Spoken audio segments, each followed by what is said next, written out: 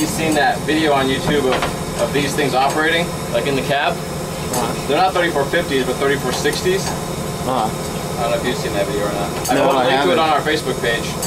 Trains Magazine actually put a link to it as well.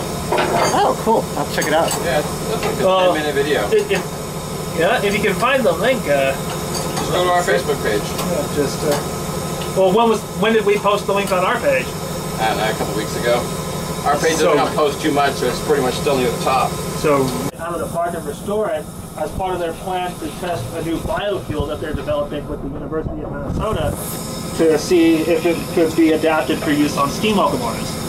Well, when the legal when the legal issues came about in 2013, they decided to try to try try it with another organization and start out on a smaller locomotive first before moving to a bigger locomotive. The tests actually went worked out well. They did did the first round of tests with the uh, Milwaukee Zoo on their steam Can locomotive. you actually start on this one? I might need Do that this one one first? Yeah, I might need that one right now. Okay. Then I'll set I'll set it down here on the chair.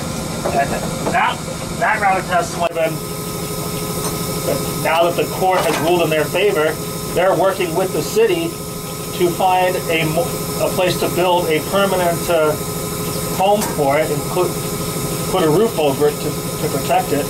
And if the and if it's in good enough condition, possibly restore it and make it into an excursion locomotive as the SBRHS did with the 3751.